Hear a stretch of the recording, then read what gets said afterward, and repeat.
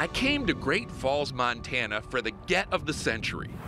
Way more than a century, actually. Are you Walter? At 112, Walter Breuning is the oldest man in America. You're Walter, aren't you? Yes. I am Steve Hartman.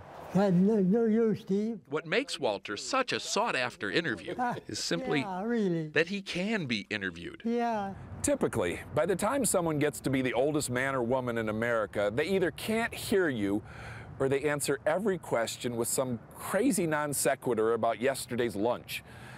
But Walter still has every last marble. Still remembers his grandfather talking about fighting in the war. Which war? Civil War, He's the only man left born during the Cleveland administration when you had no radio, who can say where he was when McKinley got shot. that's when I got my first haircut. And there's a school I went to, Walter went to school under Teddy Roosevelt Is that you? seventh grade, and got his job with the railroad during Taft. two dollars and fifty cents a week. How would you like that?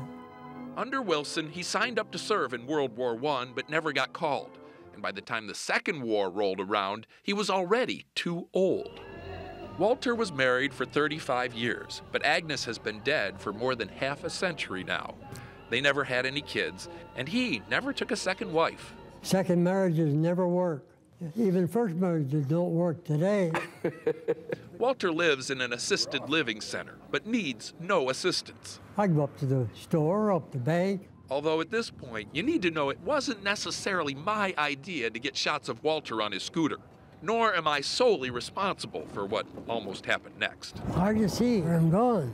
I don't even want to think about it. I don't want to think about it. This is Fred Pfeiffer, local weatherman, friend of Walter. He set up this story. Why did you not tell me that he normally goes out on cloudy days? Because I didn't know. Hard to see. Hold on, Walter. Going off cliff. Walter, whoa, whoa, whoa, wait.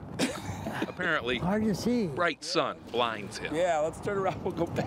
That's good. But other than that, One scoop or two? and some minor hearing difficulties, Yeah. Okay. Walter is in perfect health.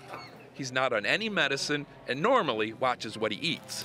He credits his diet with his being here. Yeah. And especially if you keep that weight off there. Keep the weight off. Keep that weight off there. Words to live a long time by.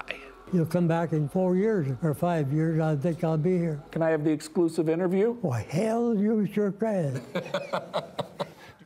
And when that day comes, you can bet I won't be asking to see him on his scooter. He is so remarkable. He's like a walking, talking history book. I know. I hope he does some, you know, oral interviews so people can share them. But yeah, he'll talk to he'll really talk to any reporter who comes knocking. It's just not many people want to go all the way to Great Falls. That's true.